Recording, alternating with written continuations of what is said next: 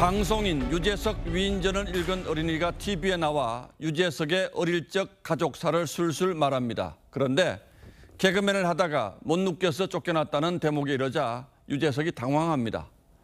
사실과 다른 이야기여서 내 의사와 상관없이 발간된 만화라고 해명하죠. 야구 선수 류현진도 자신의 위인전이 나왔다는 소식에 놀란 적이 있습니다. 만화 내용을 전해 듣고는 내가 어렸을 때 그랬었나라며 곤혹스러워했습니다.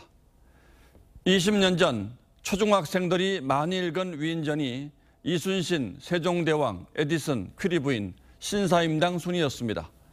하지만 6년 전 어린이 위인전 순위에서 이순신과 세종대왕은 8위와 11위로 밀려났습니다. 그 자리를 유재석을 비롯해 김연아, 박지성, 유현진이 차지했습니다. BTS 위인전은 종합 베스트셀러 10위권에 오르기도 했습니다. 어린이들의 흥미를 끌려고 만화로 꾸민 위인전과 스타들의 전기가 넘쳐납니다.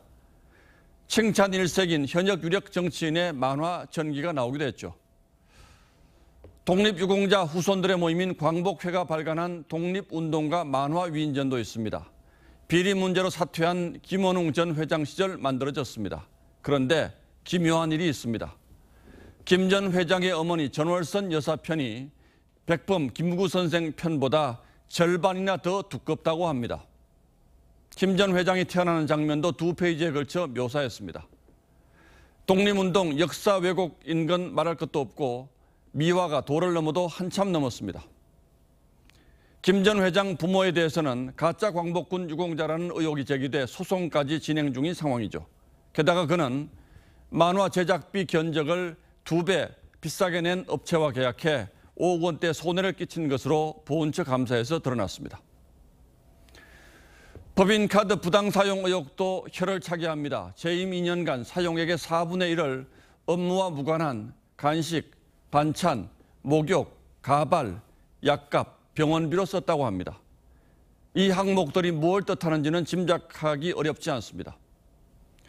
대가성 있는 억대 기부금까지 포함해 고발된 횡령 배임액만 8억 원대에 이릅니다. 유공자 자녀 장학금으로 쓸 카페 수익금을 빼돌린 혐의와 별개로 모두 새로 나온 비리 의혹들입니다. 그는 카페 관련 의혹으로 물러날 때까지도 사람을 볼 줄 몰랐다며 실무자 탓을 했습니다. 그런데 알고 보니 재임 내내 여기저기 손을 댄 곳이 한둘이 아닌 듯합니다. 그러면서 입으로는 정의와 애국의 사도인 양 닥치는 대로 친일, 민족 반역자 딱지를 붙이느라 바빴습니다. 악이 마음에서 나와 도로 제 몸을 망치는 것을 불교 법구경은 쇠에 비유했습니다. 녹이 쇠에서 나와 바로 그 쇠를 먹는 것이라고 말입니다.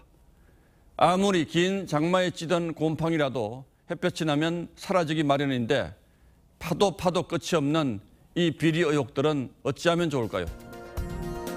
8월 20일 앵커의 시선은 도대체 어디까지 파야 합니까? 였습니다.